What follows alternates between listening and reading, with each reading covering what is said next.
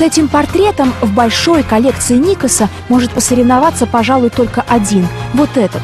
Никос, конечно, рисовал его в шутку, но о том, что Жан-Поль может так разозлиться, Никос даже не подозревал.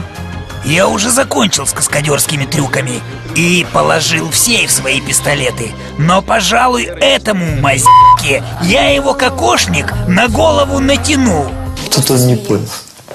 Расстроился. Вообще расстроился. Сказал, я его убью. Замочу. Да нет, это шутка была. Ну, во-первых, все не похоже, не так, неудачно. Я просто действительно жалею о том, что я огорчил человека. Эту историю с кокошником до сих пор многие вспоминают как шутку. Но вот о противостоянии этих двух богов французского кино на протяжении всей их жизни говорили абсолютно всерьез.